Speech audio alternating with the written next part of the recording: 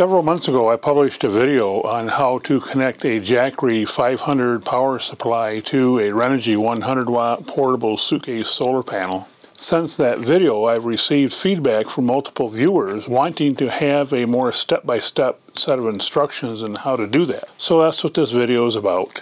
And before we get started, one thing I have to emphasize is that when you're working on a solar panel, Whenever there is light getting into the solar cells, even artificial light in some cases, you are working on a live circuit. So what I like to do is take the Renogy suitcase cover and shield the solar panels from any light source as much as possible. The basic idea when connecting the Jackery system is that you want to connect only the solar panel and not the charge controller because the Jackery unit has its own built-in charge controller. The solar panel ships from Renogy in this configuration. We have the solar panel pre-connected to the charge controller and then the charge controller itself not connected to anything and we also have a adapter cable to connect to the battery. And just to review, if you're going to use this to charge an independent battery, you'd simply connect the battery clips to the output of the charge controller and then you can charge your battery. So that's the default configuration of the unit.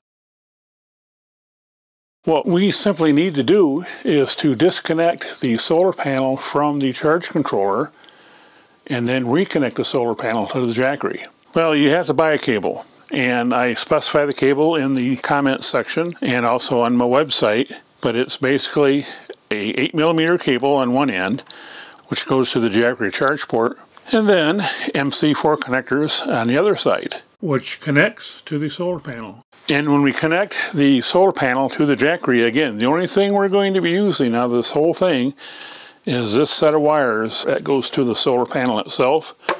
We're going to take this out of the circuit, and we do that by depressing on the two nibs and disconnecting like this. So what we're going to do, disconnect the solar input to the charge controller from the solar panel itself. You can see that one solar panel hardwired into the junction box for the other solar panel.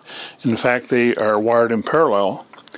And then the other solar panel comes out on this pigtail. That is the only connector on the solar panel. Now we'll take our 8 millimeter cable, the one that we had to buy, and that connects to the solar panel and it can only connect one way because we have a, we have a male here and a female there, a male here and a female there, so you can't reverse them.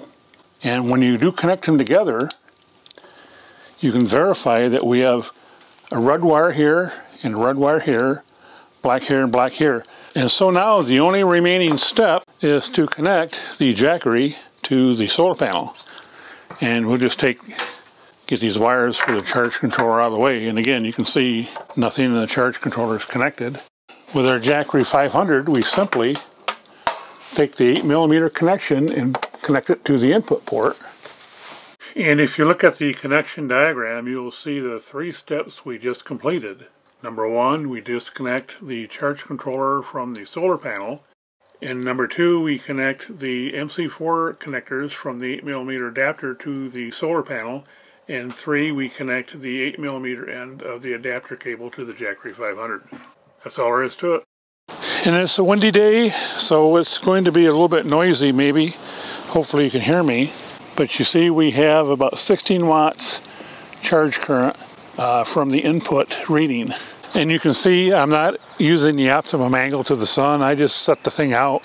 So if I angled this towards the sun and fully opened up the panel, we probably would get about 40 or 50 watts of charge current. Visit rv-project.com.